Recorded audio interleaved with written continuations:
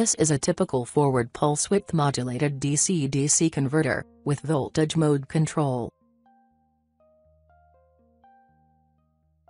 Type 3 error compensator, with C3A and R3A included, is used.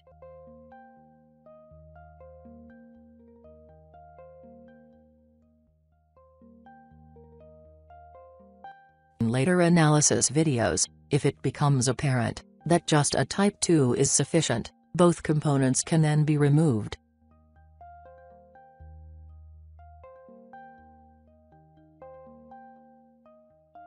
Type 3 amplifier is known to provide 3 poles and 2 zeros, a Type 2 2 poles and 1 zero.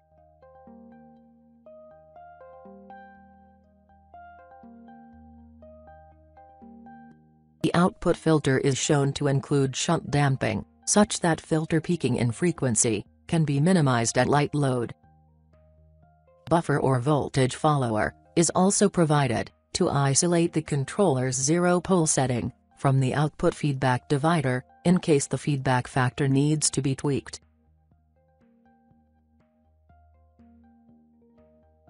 Sawtooth clock is shown externally. In actual implementation, it is generally an internal block of an integrated PWM chip.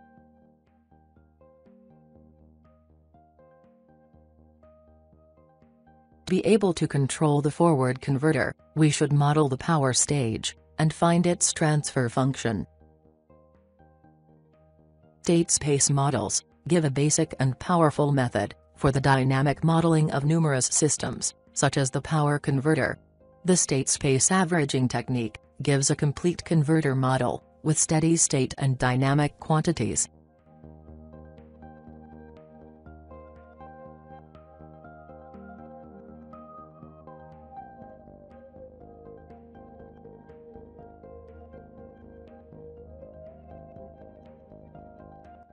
First, six variables are identified, output inductor current, damping capacitor voltage, output voltage, input current, primary voltage, and input damping capacitor voltage.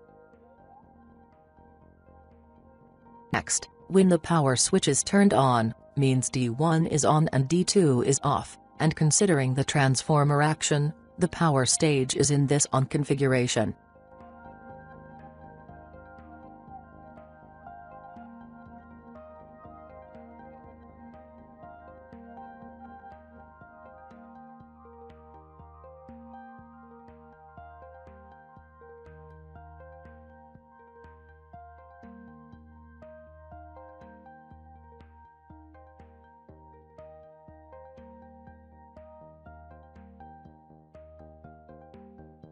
There are six first-order differential equations to be derived.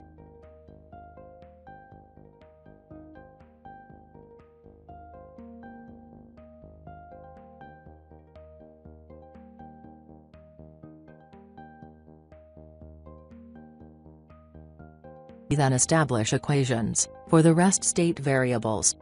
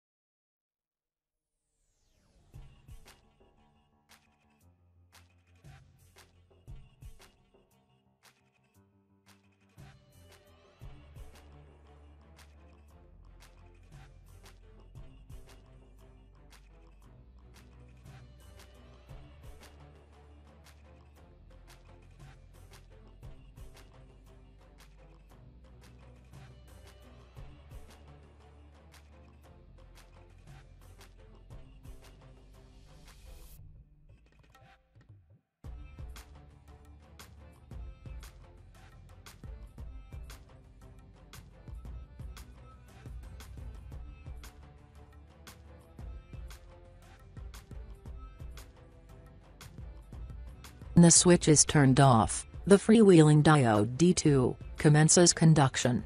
If an ideal case is assumed, the diode forward voltage may be considered zero. With this assumption, a new set of equations can be written for this switch-off configuration.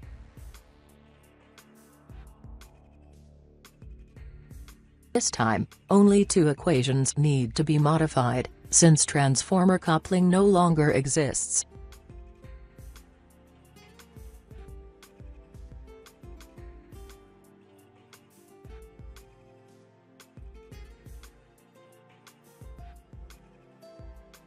For this becomes too much, we will finish the state variable model in the next video.